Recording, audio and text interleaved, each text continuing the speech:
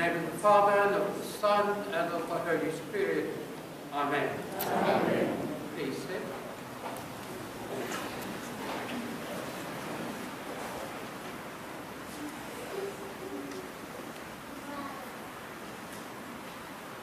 Let me greet you in the name of our Lord Jesus Christ. Amen. And I'd like to say that I am very happy to be with you this morning. Uh, I think I last visited this parish about 6,000 years ago. No, not quite. it feels like that, about six years ago, when I was uh, still the Bishop of Natal. As you know, I'm now retired as a bishop, although the diocese keeps me very busy. And Father Stemby, so it's also keeping me busy. He doesn't like to see me going to the beach to fish and to swim. But it, it, it's really nice to be with you, and any bishop enjoys doing a confirmation for those who have made that decision to be confirmed. A confirmation is a very special service, as you know. There are two parts to the service of becoming members of the church, or being initiated into the church. The first is baptism, and the second is confirmation. And they actually go together. Sometimes, sometimes, not all the time, when we uh, baptize an adult, we also confirm them at the same time. But otherwise, those two uh, services are separated, baptism and confirmation. So those of you who are being confirmed today, congratulations by the way, that you made it this far. You have already been confirmed, maybe recently or when you were a little baby. You remember when you were a baby, you know. You came to be baptized and how you cried and you splashed water on the bishop's face and or the Fundisi's face, okay? But I hope you won't do that today. All right? You have to behave. Um, so, what's uh, confirmation all about? Why are you being confirmed? Do you have to get confirmed? Yes.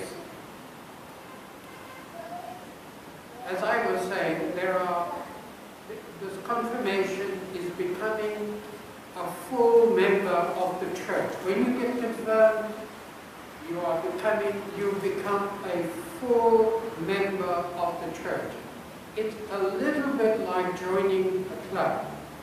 If you want to join uh, uh, a netball club or a cricket club or, or, or soccer, I don't like to talk about soccer these days because my team, Buccaneers, is doing very badly. You must pray for us, please. We need your prayers, okay? Yeah. I don't know what's going on. Uh, but when you when you want to join a club and even the church, you have to be formally admitted into that club or into an organization and suddenly into the church. And the way you and I and I become full members of the church is through baptism and confirmation. These are called services of initiation, where we are brought and made full members of the church. And those of you who will be confirmed, if you haven't already done so, you will be able to receive Holy Communion. Some of you may be doing that for the first time. You will come to the altar and uh, Babanchanga said, I we will administer Holy Communion to you. I still remember the day I received Holy Communion for the first time. That was a long time ago, I think about three million years ago, when I was still little. If my wife were here, she'd say, no, it's more like 20 million. But it was such a joy to come to the altar of the Lord and to receive His life in the sacrament because you're not receiving bread and, and wine, no.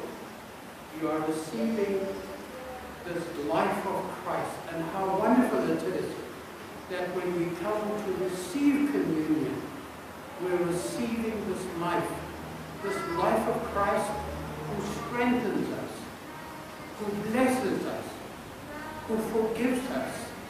So when we leave church at the end of this, we are not leaving Jesus behind, are we? No, he's coming with us because he is a part of our lives and we are a part of his life. Wherever we go, whether it be to school or to be with our friends, if you're a young person, and so on, you know that Christ is your companion. Christ is with you. It's, it, it's what that scripture verse says in John 15. I am the vine, you are the branches. So when we get confirmed, when we receive the gift of confirmation, we become the branches that's a part of the vine who is Jesus Christ. You see that? So we are not alone. In baptism and confirmation, we become a part of the family of God. And it's, it's very special. It's wonderful that wherever we are, at work, or at school, or any other place, we know that Christ is with us. He, to pray from the scriptures, He abides with us. He is always guiding us and leading us and filling us and even healing us. Sometimes we reject that. Sometimes we walk away from Jesus because of what we do. And of course it doesn't make him happy. So there's this wonderful analogy of the vine and the branches, which is what happens in confirmation. In Luke's Gospel, chapter 4, we read, and this is at the very beginning of Jesus' ministry. It says, when Jesus came to Nazareth, where he had been brought up, you see, he was a little boy as well, we, don't, we forget that sometimes, he went to the synagogue on the Sabbath day. For you and me, our Sabbath is today. It's a Sunday. For the Jews, it is on a Saturday. Anyway, Jesus went to the synagogue on the Sabbath day. You are here today on the Christian Sabbath to pray. And Jesus did what I'm doing at the moment. It says that when he was in the synagogue, and as was the custom, he stood up. He went and he opened the Torah, the Jewish book, and he read uh, these words from the prophet Isaiah, which is in the Old Testament, obviously. And those words that he read were these. The Spirit of the Lord is upon me. Why? Because he has anointed me to bring good news to the poor. He has sent me to proclaim release to the captive and recovery of sight to the blind and to let the oppressed go free. And then Jesus wrote out the scroll, which is equivalent to the Bible. He wrote it out, and the people looked at him in awe and wonder. And for you and me, my sisters and brothers, that the Bible is, is at the very center of our worship? And I know most of us have Bibles, we should all have a Bible, but we shouldn't let it collect dust, we should read the Bible. Because when we read the scripture, we're hearing the voice of God. It is God speaking to us through the scripture. And we are being reminded as Jesus read from the scriptures that the Lord is upon me because he has anointed me. And you who are being confirmed today, and you who have already been confirmed, you have been anointed by God. Think about that for a minute. God is anointing you, or God, for those of you who have already been confirmed, God has anointed you and made you his child, his daughter and his son. You belong to him. So we are not alone wherever we are. Whether we're at school, on the playing field, or at work, or at home with our families, God is with us, always. The question is, do I open my heart to God? Do I allow God to speak to me? Do I allow God to lead me and to guide me? Or do I do my own thing? Having become a child of God through baptism and confirmation, do I just go my own separate way away from God? You see, when we when we walk away from we do the things that are not right, that are not of God, then we can't blame God. We have to take responsibility because God wants us to be his true son and daughter. And, and God gives us the Holy Spirit. And the service of confirmation is about God giving you the strength of his Holy Spirit. You are being, to use a, it's actually difficult word, uh, to be anointed. You are being anointed by the Holy Spirit today. Think about that for a second. And when you leave this church, having received this gift of confirmation, this anointing of the Holy Spirit, you have strength. You have strength, the strength that God gives you. You have guidance, the guidance that God gives to you. You are able to live the life that God is happy with. You don't have to give in to wrongdoing or temptation because you have been given in your confirmation the gift, the power of the Holy Spirit to do that which God wants you to do. When Jesus was anointed, as you are being anointed today, and like Jesus, when you get anointed with the Spirit of God and we use holy oil, which is blessed by the bishop in the cathedral on, on, on a particular day in the Holy Week, on Maundy Thursday, then you receive that strength. And when Jesus received that anointing, we read in the scriptures, the Spirit of the Lord is upon me, because he has anointed me to bring good news to the poor. He sent me to proclaim release to the captive. That's what Jesus did. Having received the Spirit of God, the power of God, the love of God, the strength of God when he was anointed, are being anointed, he went out to do the work of God and please God. It's quite a thing, isn't it?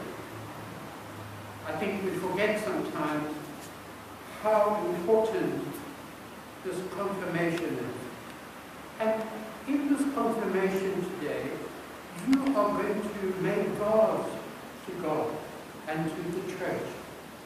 You will promise today to follow him.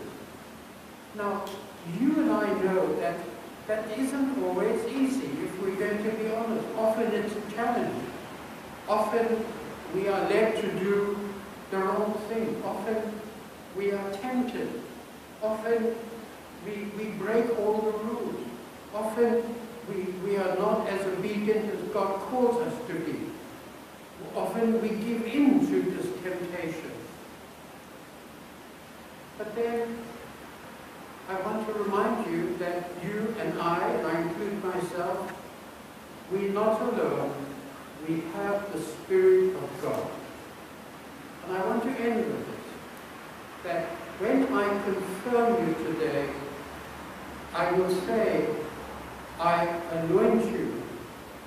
Uh, I, I, dip my finger in the holy oil, uh, and I will, I will make the sign I say, I anoint you in the name of the Father, and of the Son, and of the Holy Spirit. And then I pray that you will be strengthened by the Spirit of God to do His will. We are all tempted. We are all being led to do that is wrong. I include myself. I'm saying we, I'm not saying you. Okay? We are all tempted to do that which is wrong, that isn't right. But we don't have to. We don't have to give in to all that temptation. We don't have to break the rules that God has given to us. If we, as God's children, are going to live fulfilled lives, if we are going to receive the true blessing of God, then we have to live the life that pleases God. And as I said, and I'm repeating, you are not on your own. You have the power of God not to be tempted, not to do anything that is not of God, but to live a life that will please God. And I want to say to the young people, as a bishop, I've always been very excited about the fact that young people come to church. Uh, not that the others are not important, you understand me.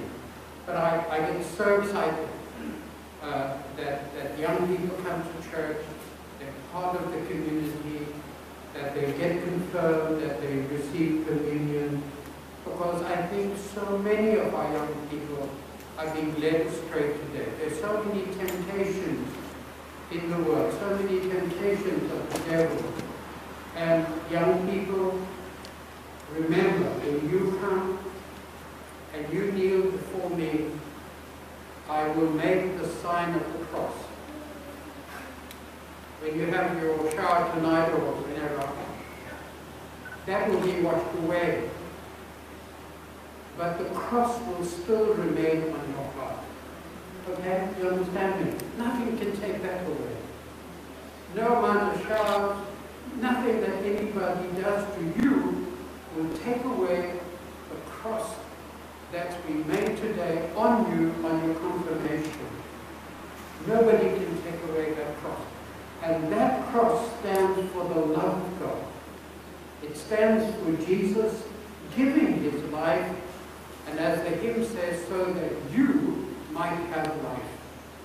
You become a child of God in a new and fresh way by the giving of your life today. And the last thing I want to say, the confirmation has another part to it. I'm sure you know what that is, and that is receiving Holy Communion. You see, in our church, only those are confirmed come to communion. And what happens in Holy Communion? You receive the body and blood of Christ. And again, we remember that Jesus gave his life on the cross. He sacrificed his life so that you and I can have that life. We kneel, for those of us who can kneel, at the altar. We humble ourselves and we put out our hands or we receive straight into our mouths, some of us, we receive the life of Christ. We're not receiving bread and wine. You can do that when you uh, uh, when you put on kombucha or whatever. Okay. You're not receiving bread and wine, you're receiving the very life of Christ who strengthens you to live the life that God wants you to live. So I am so grateful that for those of you who are getting confirmed today, uh, be strong. You will be tempted as Jesus was tempted in the desert, but be strong and know that God is with you, as God blesses you today. It's not me, it's the Lord who fills you with his love.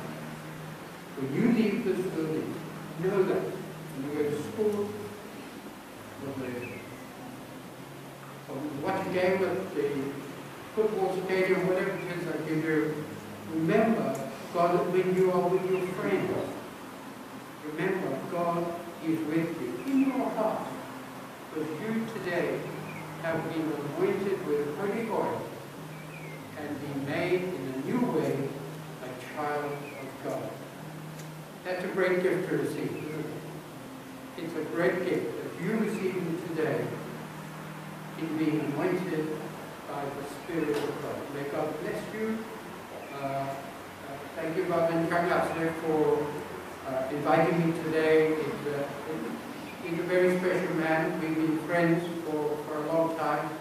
I don't always make it public because it's not good for my image, but that's not true.